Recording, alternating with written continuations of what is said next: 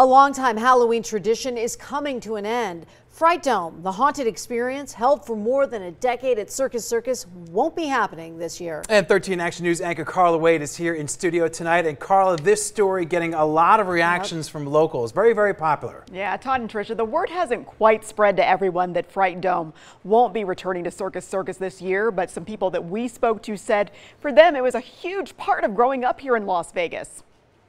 For 15 years, Fright Dome attracted and repulsed crowds inside the Circus Circus Adventure Dome theme park. Born and raised out here, I was born in Sunrise actually, so I've grown up going to Fright Dome. It's always been a blast. While it's surely responsible for a fair share of nightmares, it also scared up fond memories for some Las Vegas locals. It's almost like annual religion. It's if you're local, you know about Fright Dome. It's, it's just something you do. As kids, we would go trick-or-treating and obviously, you know, when you enter the preteen phase, you think it's kind of not cool anymore.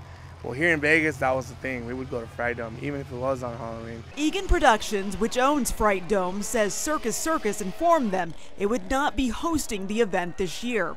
They provided this statement to 13 Action News, which reads in part, while we regret this bad news, we are grateful to the people of Las Vegas for supporting Fright Dome over the past 15 years. I'm actually at kind of a shock. It's like putting a great thing to rest that shouldn't be put to rest. You know, it's always grown and gotten bigger and better every year. But not everyone is sad to see it go. It never amused me. It never, um, it, I don't know. It just wasn't special. Maybe it's just I don't like haunted houses, but I don't know. It just seemed very cheap, very unappealing.